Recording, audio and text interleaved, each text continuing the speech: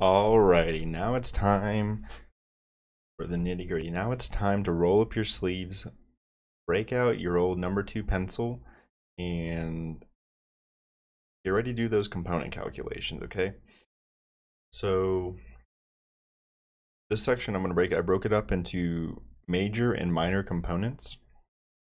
Major components are those components, like I said, like the MOSFET, the flyback controller, the transformer, the output diode, output capacitor. Then the minor components are all those tiny little resistors that I kind of showed you that were scattered around the flyback controller itself that helped ensure the proper operation of the controller. So I guess I'll just jump right into some calculations. Um, the first place I want to start is our full wave rectifier circuit. So there are two major component selections you need to make for your rectifier circuit. The first one being the rectifier diodes, and the second one being the smoothing capacitor to help smooth that DC source. So I have here like a little diagram I just Googled. This shows the basic schematic for a bridge rectifier. Like I said, you can Google, there's a million sources on how to actually design this, but it's, I mean, it's what you're looking at right now. That's how you design one. And then it also shows why a smoothing capacitor on the output is necessary. So this little C right here, this capacitor, um, is responsible for taking these dotted purple humps that you'll see. This is what results from a naturally rectified signal, right? So when you rectify AC to DC, it just has these little humps like this. And it changes it to something that's a lot more smooth and consistent, right? So these valleys are a lot less severe and the hills are a lot uh, more benign here whenever you have a smoothing capacitor, right? So those are two components that we're gonna have to uh, basically pick for our application. So we'll first start with the rectifier diodes. So with the rectifier diodes, the first major component parameter, and what I'm gonna do is basically whenever we're gonna look at a component, I'm going to talk about the important parameters you need to consider whenever you're out shopping for your actual components. When you're trying to source a component, be like, will this component work in my application? Here are the things that I think you should consider. So the first one being the voltage, um, peak reverse voltage rating of the diode. So basically I have a little drawing here to explain what that means.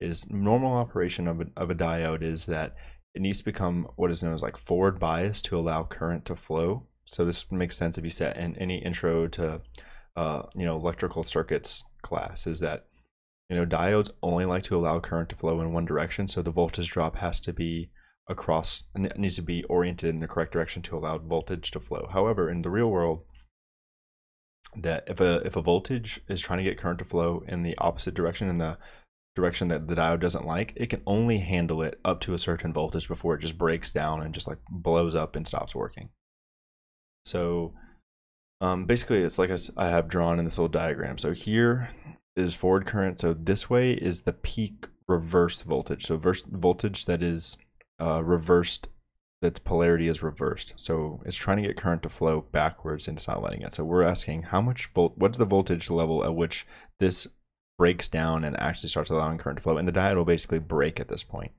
Might like catch on fire or burn up or something.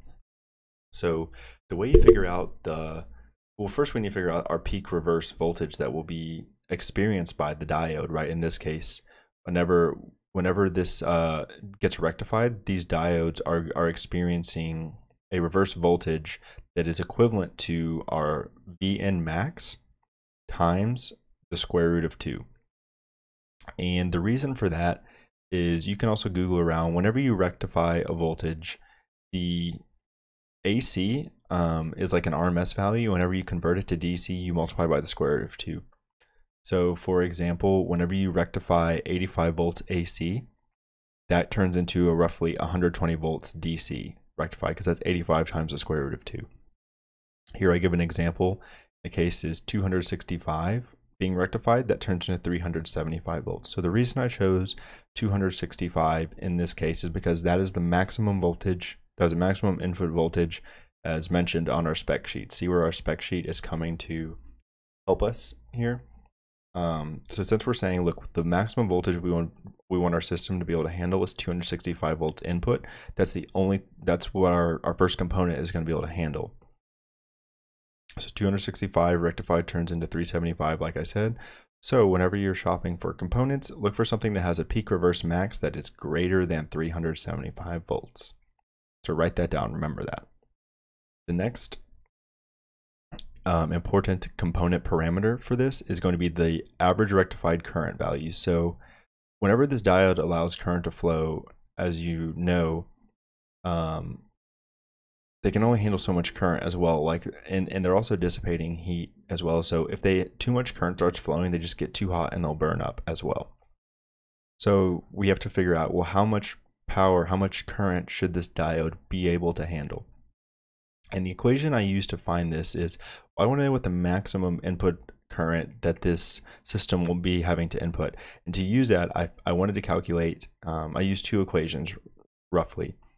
And that is figure out the power input because I know that power equals voltage times current.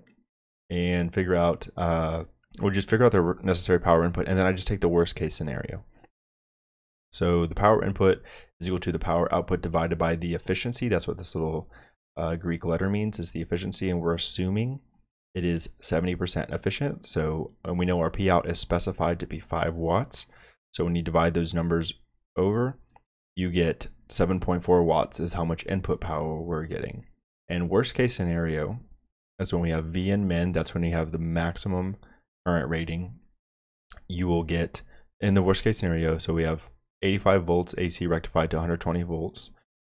And in order to get 7.4 watts, you'll need 61.67 milliamps. So this is roughly the average, um, maximum average rectified current that the diode will be experiencing is about 61.67 milliamps. So whenever you're shopping for components, just be sure your diode can handle um, something that is greater than 61.67 milliamps. And you always want to shop for something greater because if it's right at that limit, then you're just asking for trouble because anything that's, if calculations are slightly off, if conditions are slightly off, it's going to break. All right, so the next thing, um, well, actually here, we'll, we'll stop right there. That way we'll chop this up smoothly and we'll go the next section. I'll talk about the smoothing capacitor on the input.